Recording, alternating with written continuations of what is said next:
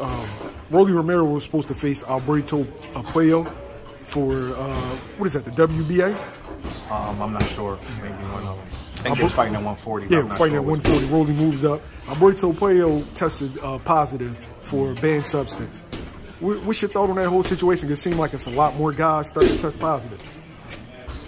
Um, no, I don't know. Uh, he's uh he's in the same camp as the guy we going against. Oh uh, shit, he is. Adames. So who knows, man? You know, until all of the facts come out, you know, you just gotta just, you know, just hopefully VADA just catches whoever's doing what. You know what I mean? Uh, I'll probably I've been really outspoken on testing and boxing, but it's one of those things.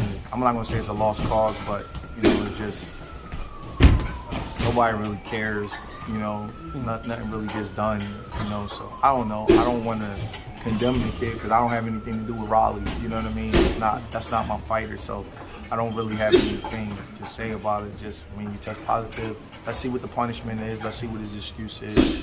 Whatever. It seems like it's um, every time somebody tests positive, though, everybody has the same excuse. You know, it was a mistake. They didn't know.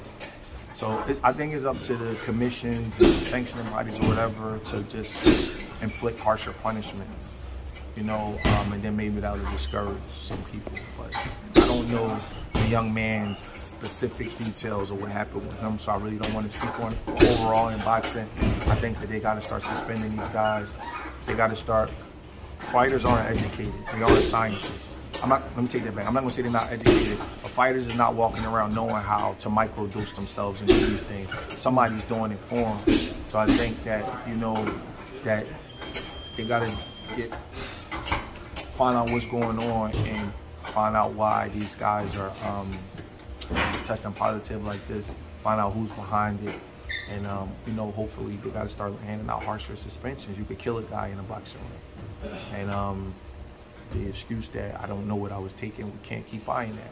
You know what I mean? Because if that's the case, everybody's going to have the same excuse. You know what I mean? It's a dangerous sport, but hopefully they work it out. Maybe it was a mistake, maybe it wasn't, I don't know. But um, uh, hopefully VADA does their job and, you know, keep catching guys. That's all I can say. I'm going to go a little less uh, PR. How, how long is boxing going to get away with the my dog ate my homework? I don't know, man how some of these. The thing is, like, right, um,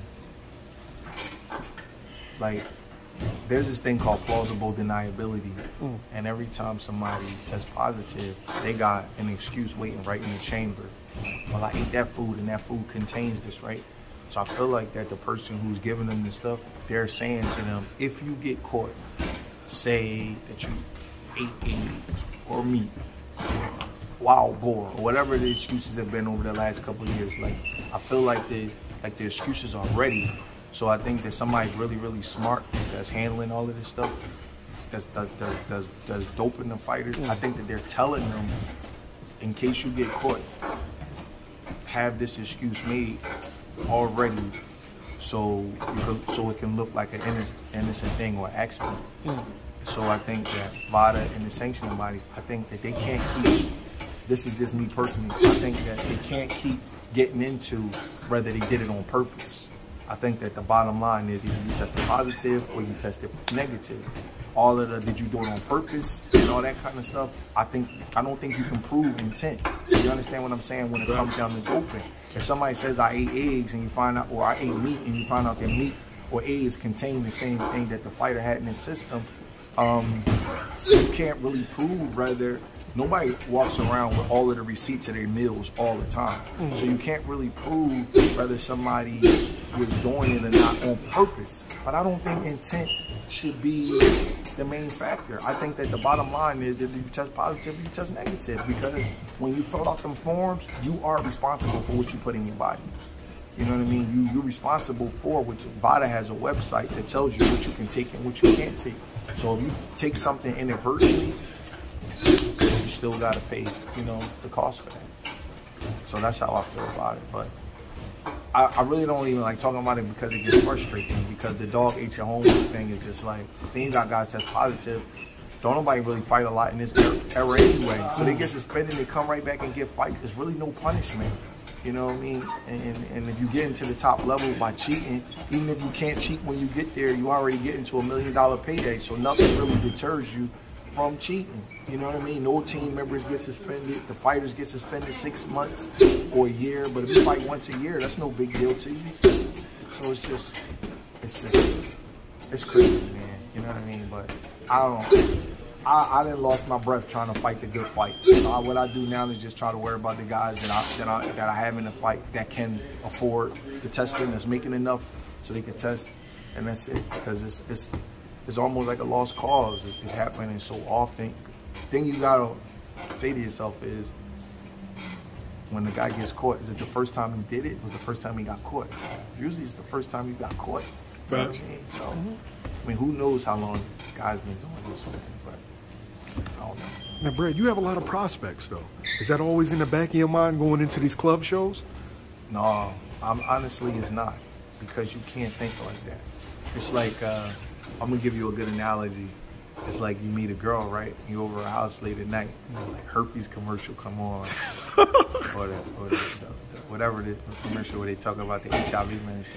If you think about that, you ain't going. No, you know, you're not gonna be able to do what you came to do. You know what I mean? So, as a, with the prospects, you can't just think, oh my God, this guy might be juicing, that guy might be juicing, because it's gonna be in their mind, and then the fighters something get in their mind, and they don't be as confident. You know what I mean? Take their confidence away. So, I don't. I try not to. Uh, to dwell on it, you know, and if I do think about it, I just don't talk to the fighter about it.